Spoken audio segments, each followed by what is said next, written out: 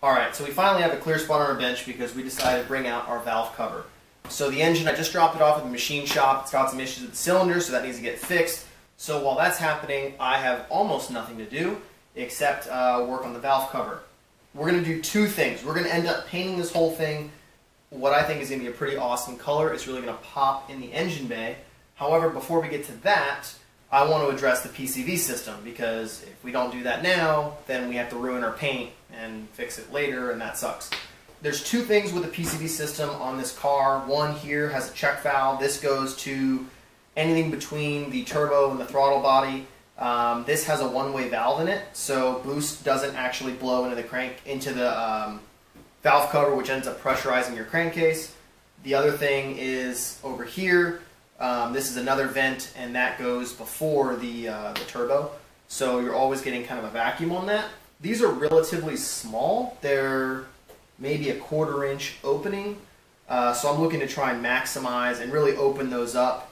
Um, my plan is to actually get rid of the check valve and have a full vacuum on this side of the valve cover to pull all the vapors that come through here and hopefully put a vacuum in the crankcase so that not only are we not blowing out any seals or anything like that, but any blow by that happens on the cylinders, especially during warm up um, or even when we're pushing a higher boost, will be pulled by this. So what does that mean? A couple things. One, we have some 10 AN fittings.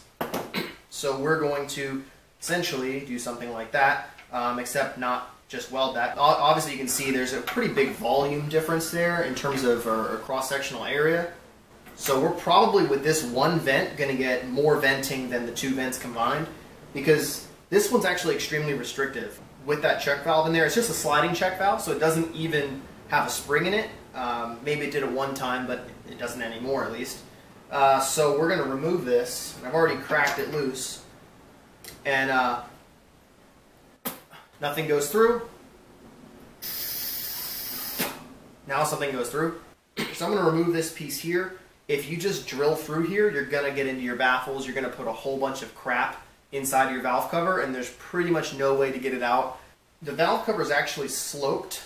So as you see, it's not actually a, a 90 degree. So when we have our fitting, it doesn't actually close.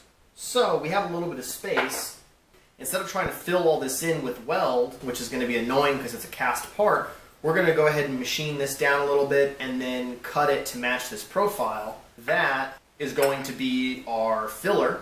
And then from there, these have basically the same outer diameter and we'll be able to TIG weld that in.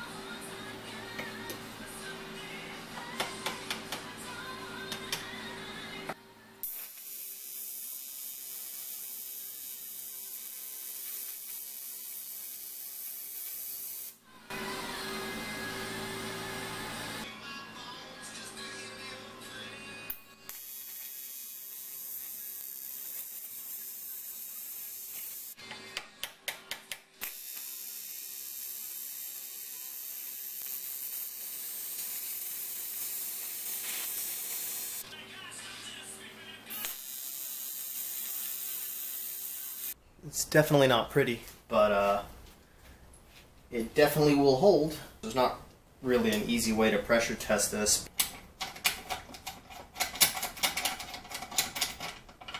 But we have a fitting, we didn't destroy the threads, and that's what's really important.